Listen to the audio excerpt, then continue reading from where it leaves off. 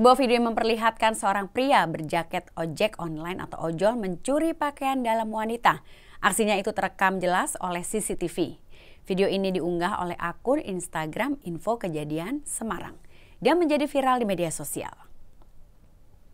Dalam video tersebut terlihat pelaku yang menggunakan jaket ojol tampak berada di depan rumah kos sambil memperhatikan keadaan sekitar dan ketika Keadaan sudah dirasanya telah aman, pelaku itu pun langsung berjalan ke arah jemuran dan mengambil beberapa pakaian dalam milik seorang wanita.